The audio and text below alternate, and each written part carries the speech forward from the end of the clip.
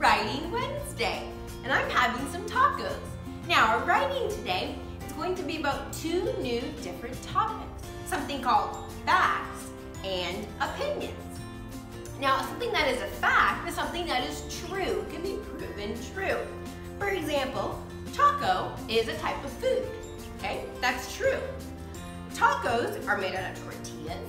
They're made with meat, sometimes cheese and lettuce and tomato.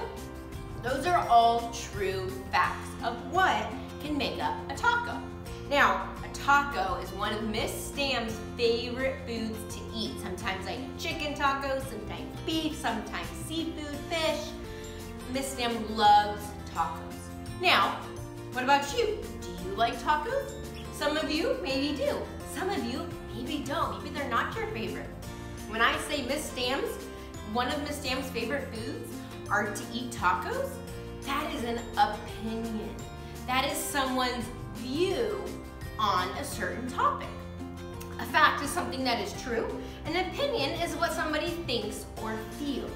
So I think tacos are one of my favorite foods. That might be different for you. For our Writing Wednesday today, you're gonna write me a story using facts and opinions. And here's what I want it to be on. I want you to go find a food in your house. Maybe it's a food you like, maybe it's a food you don't like. Okay, maybe it's something mom or dad like to cook for dinner. Maybe it's what you eat for dinner tonight. And I want you to write a story on some type of dish or some type of food that you eat at home with your family. So I would write it on tacos. And I'm gonna list some facts about that food. So for you, I want you to look at that food at home. Tell me what it looks like. Tell me what color it is. Tell me if it's sweet or sour or salty. Tacos are salty. Okay, they're not sour or sweet like maybe different types of um, treats or different fruits would be. Tacos are very salty. So I want you to use some adjectives and tell me facts about your food that are true. And then I want you to tell me your opinion on it. Tell me whether you like it or whether maybe you don't.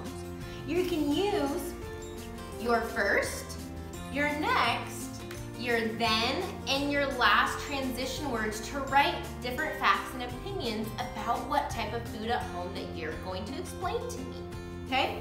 Your, you have a lined piece of paper this week that you can use to write your story on using different facts and opinions.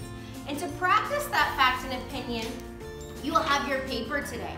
And on the front, you're gonna read the different sentences and you're gonna decide whether it's a fact, something that is true, a taco is food, or if it's an opinion. Miss Stam loves tacos.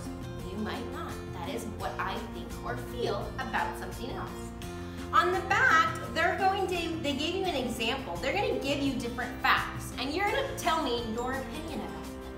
So on the top it said oranges grow where it's warm. then you're gonna write what your opinion is of the oranges.